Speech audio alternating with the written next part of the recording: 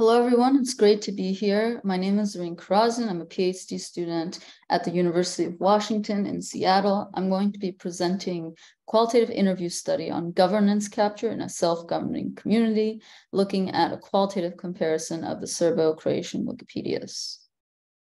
For those of you who are, who are unfamiliar with the Croatian Wikipedia case, uh, for about a decade, at least 2011 to 2020, a small group of far right editors took over the governance mechanisms of the Croatian Wikipedia.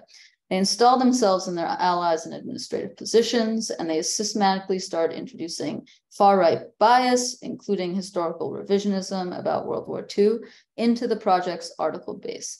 Finally, they harassed and stamped out dissenting editorial, dissenting editorial voices, so uh, hard for editors that were not ideologically aligned with this core group to contribute to the project. After years of calls from the foundation to intervene, the situation started getting some media attention. Eventually, uh, the offending editors, many of them, most of them were removed from positions of power. Many of them were blocked um, outright, um, issued global blocks. Uh, the foundation did a commissioned a retrospective assessment of the situation to figure out what happened found out that essentially while there was there was systematic issues with the content on the project but really this was a problem of governance. They called it project capture um, that the mechanisms by which the project was governed were taken over.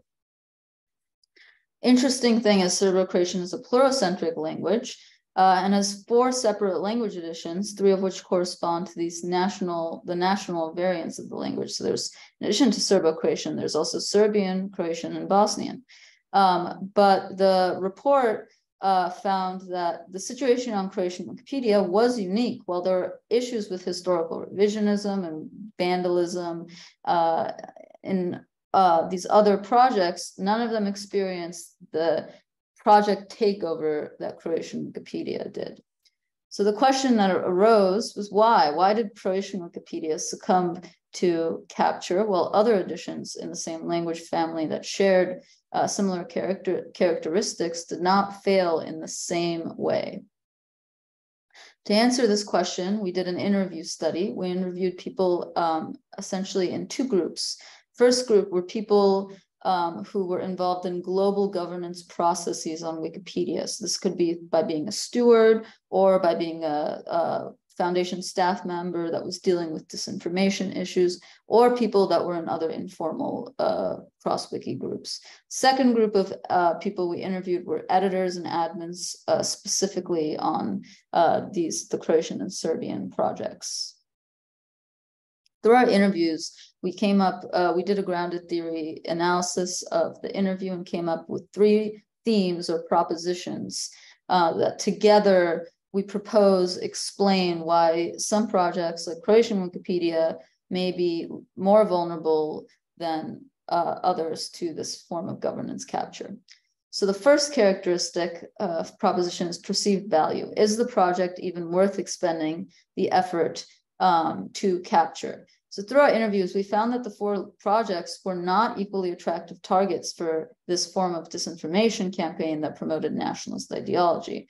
Uh, Croatian and Serbian both had a critical mass of editors and the, a community in which national narratives resonated. Um, so they were, in this way, of the four projects, the two most attractive targets of potential targets uh, for capture.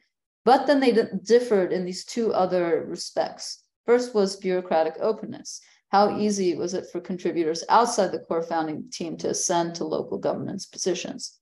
On Serbian Wikipedia, there was an early effort by the founders of the project to open up the project's bureaucracy to people outside of the core founding team. So there was a transparent process to ascend to administrator positions, bureaucrat, check user positions, and there was an effort to recruit this initial diverse group um, of administrators.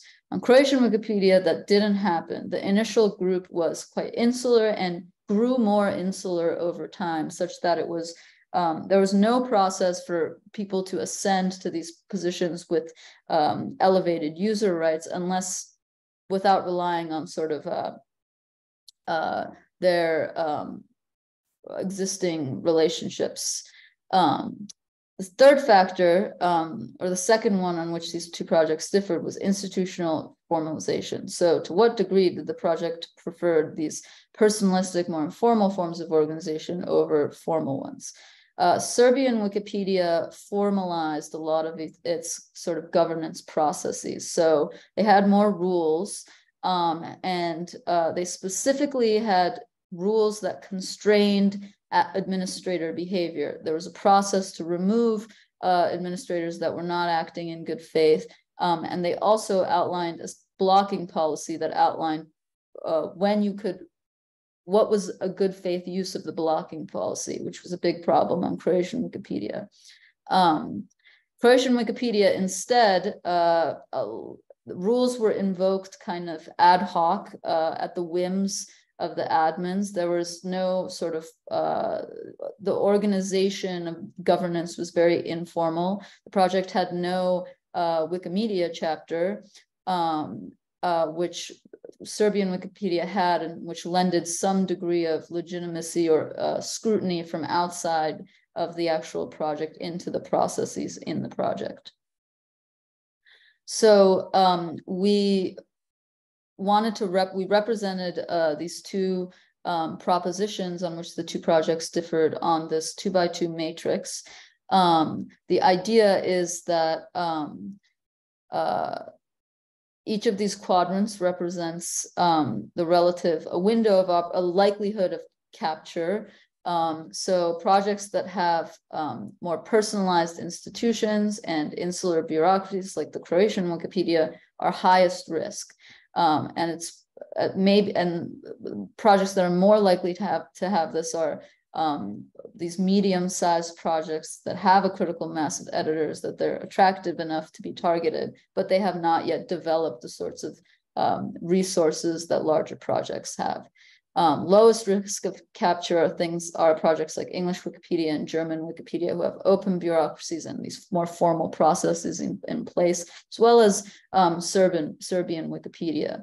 Um, so the next step for this study is um, a quantitative study that empirically tests these relationships um, because obviously this is our kind of theory for what we're for what was happening based on our uh, interview results. Um, but the next step is testing it across many, many Wikipedia editions to see if we can, to see if it generalizes beyond our immediate study. Um, thank you, and I'm looking forward to feedback and questions.